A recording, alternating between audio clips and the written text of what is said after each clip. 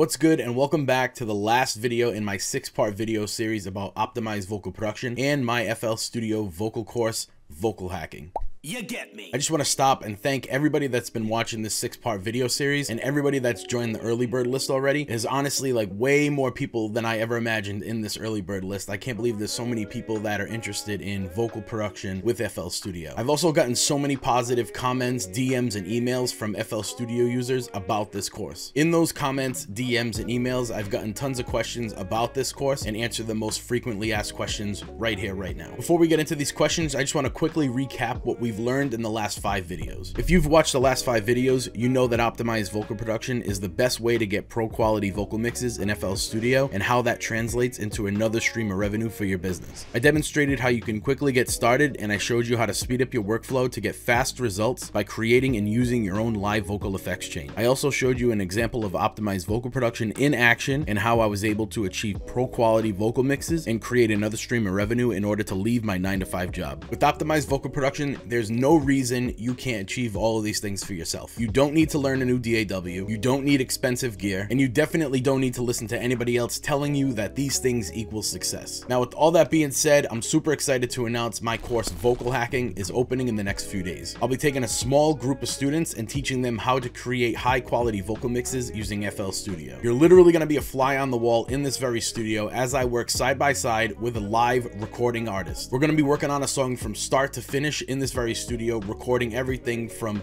main vocals dubs, ad-libs, background vocals, harmonies, etc. Now, as I promised earlier in this video, I'm going to answer some commonly asked questions about this course. One of the most popular questions that I've been getting asked is, is this course a beginner's or an advanced course? To answer that very quickly, I would say that it's intermediate to advanced, meaning this course isn't for you if you don't know how to flow through FL Studio and know the basics of how to maneuver through this DAW. Everything that I prepared in this course is broken down into small bite-sized chunks so you can easily digest and follow along. The second most popular question is, how much is this course going to cost? I haven't really decided on a final number yet, but I know that it's not going to be too expensive, and I am going to offer a payment plan if you don't have enough money saved up. Another big question that I've been getting is, is this for the United States only? The answer to that is no. You could be anywhere in the world as long as you have an internet connection, you're good to go. I put together another video on a page that's going to go live in a few days that's going to answer some more questions for you as well. If you want to make sure that you get a spot in vocal hacking, I'm about to give you some instructions right now that you can follow so you can get in as soon as this course opens up. As much as I'd like to help everybody everybody get pro quality mixes and increase revenue, I simply can't work with more than a handful of students at one time while providing the support and guidance that you need to get the results that you want. I like having my online courses small and intimate. That way I can focus and be there for my students. If you want to increase your odds of getting into the program, here's what you can do. If you've already signed up to the early bird waiting list, that's awesome because your chances of getting into the course are a lot higher. I'll be sending out an email to everyone on that list shortly with a special early bird registration link. So the reason I've created this early bird list is so you can get access before the general public. If you want to secure your spot, you're going to have to act immediately once you get that registration email. If you weren't able to sign up for the early bird list, you still might be able to get into the course if you follow these instructions very carefully. As soon as you see a post from me that the doors to my vocal hacking course are open, click the link in my bio or the description, which is then going to take you to the registration page. Then you can secure your spot for the course immediately. So most likely the registration page is going to get bombarded very quickly. So to increase your odds, make sure that you get on that early bird list and follow follow all these instructions that I just listed so you can really increase your chances. Thanks for watching this video series and sticking around all the way to the end. I can't wait for you to get into the course. I hope you make it in. And as always, make sure to share this with a friend if